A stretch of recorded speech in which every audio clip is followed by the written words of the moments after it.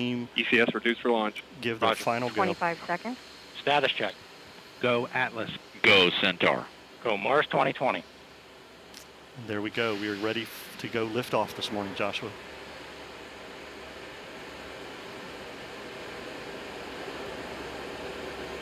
Eight, Eight, seven, seven, six, five, five, four. Engine ignition. Two, one, zero. two. Release. And liftoff. As the countdown to Mars continues, the perseverance of humanity launching the next generation of robotic explorers to the Red Planet.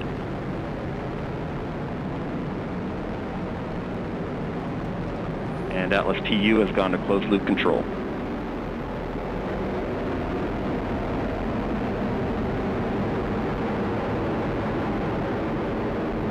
Coming up on 30 seconds into flight, the RD-180 is throttling down as expected. Engine response looks good. And Mach 1, Atlas 5 is now supersonic.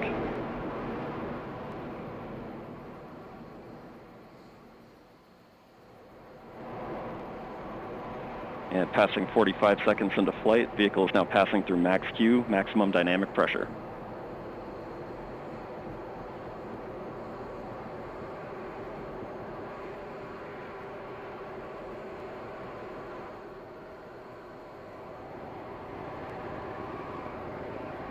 Passing one minute into flight, the RD-180 is throttling back up as expected. Engine response looks good.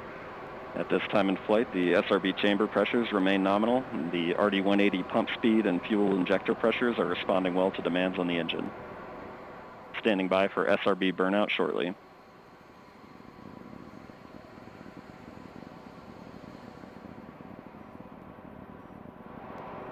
And we have burnout on all four SRBs. Burnout pressure signatures look good. Standing by for SRB jettison shortly.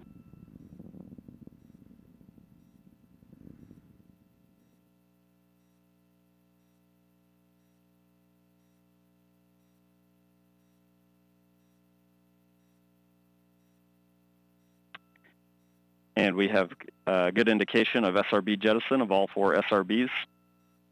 And the vehicle has gone to closed loop guidance.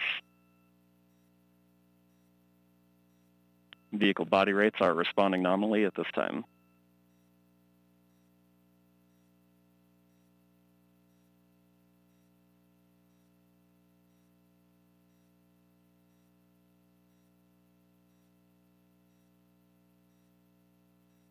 And coming up on two and a half minutes into flight, uh, the RD-180 is throttled down slightly as expected. Engine response continues to look good. At this time, the vehicle is uh, 50 miles in altitude, uh, 85 miles downrange, traveling at 6,000 miles per hour.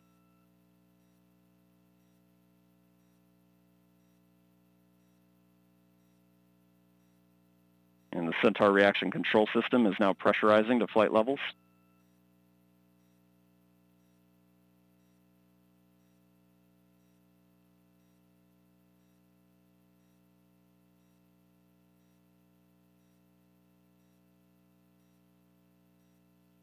And just past three minutes into flight, the RD-180 is now throttling to maintain a constant 2.5 G acceleration limit for payload fairing jettison. Engine response and vehicle acceleration look good.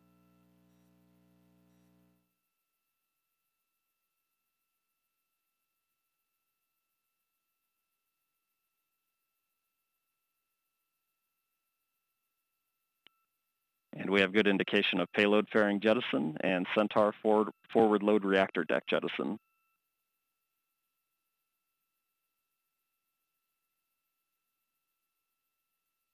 And the RD-180 is throttled back is throttling back up to attain a 4.6 G acceleration. Uh, engine response continues to look good.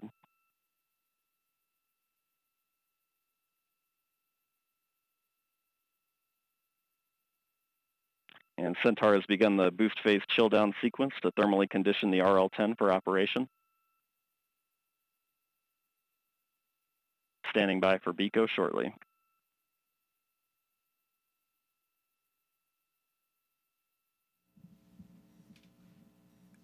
BECO is the BECO is the call for booster engine.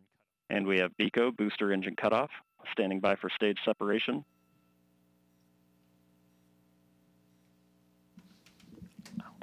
And we have good indication of Atlas Centaur separation. So there you're seeing live footage And we have the MES rocket. 1. Uh, RL10 operating parameters look good. Uh, chamber pressures are stable.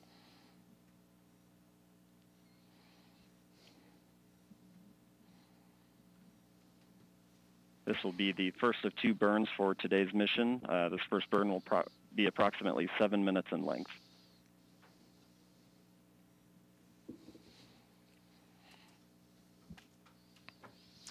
So Mick, that's pretty exceptional footage there. That's live video. Uh, we will see that switch over shortly into an animation that kind of helps let us know what's happening with the rocket. But right there, uh, a beautiful liftoff. Uh, fun to feel that rumble in the building here as we proceed towards uh, orbit and then towards uh, Mars destination. Yeah, absolutely. It was great uh, watching an on-time liftoff of the Atlas V with that little over 2 million uh, pounds of thrust.